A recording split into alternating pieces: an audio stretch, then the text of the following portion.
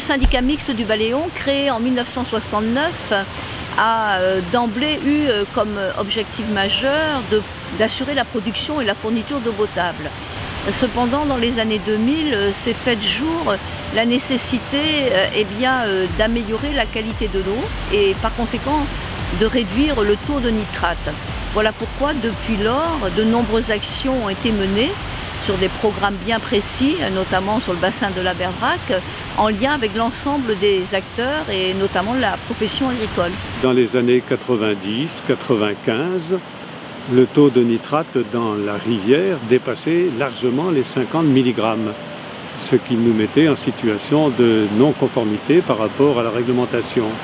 Sachant que notre outil est indispensable au niveau de la production d'eau potable, eh bien, parallèlement, on nous a demandé de prendre nos dispositions pour améliorer la qualité de l'eau brute.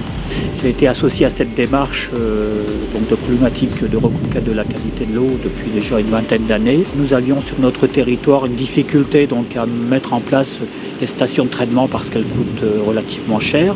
La station sur laquelle nous sommes aujourd'hui coûte 1 350 000 euros. Certes, il y a eu des subventions, dont une partie par l'agence de l'eau, mais il n'empêche que ça revenait quand même trop cher, souvent sur des démarches individuelles. Nous avons donc opté, et, j'étais en quelque sorte un peu le meneur de cette démarche pour une démarche semi-collective. Nous sommes associés donc à, travers donc, euh, un d'intérêt économique, autrement dit GIE, donc, pour mettre en place cette station que nous avons mis 4 ans à monter et, à mettre en route, donc, mais avec des résultats qui nous satisfont aujourd'hui. Ce travail de terrain que nous faisons avec euh, beaucoup d'élus depuis une trentaine d'années sur ce territoire nous a été très précieux. Ben, au départ, euh, c'était volontaire, sachant qu'on avait un défi de la qualité de l'eau à relever, hein, et que si on faisait rien, à un moment donné, euh, le coup près tomberait.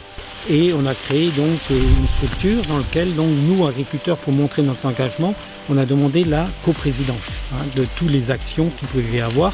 Donc coprésidence que j'ai partagée avec Pierre Adam, euh, pendant euh, plusieurs années. Donc on a créé cette bande enherbée pour euh, déjà donc éviter toute pollution accidentelle et également donc créer une véritable zone tampon par rapport aux nitrates. Le rôle du syndicat était essentiellement de faire se mettre autour de la table différents acteurs qui avaient des visions différentes du sujet. Bien entendu, la profession agricole, à laquelle je veux d'ailleurs rendre hommage, a su répondre présente à cette nécessité de reconquérir la qualité de l'eau. On a fait des formations, des rendez-vous bout de champ, des réunions du soir pour expliquer euh, aux gens un peu d'autres savoirs en termes d'agronomie. Et le but étant donc d'apporter euh, la bonne dose au bon moment. Ça a été bien perçu et accepté finalement malgré le coup par le monde agricole, mais ils n'avaient pas trop le choix.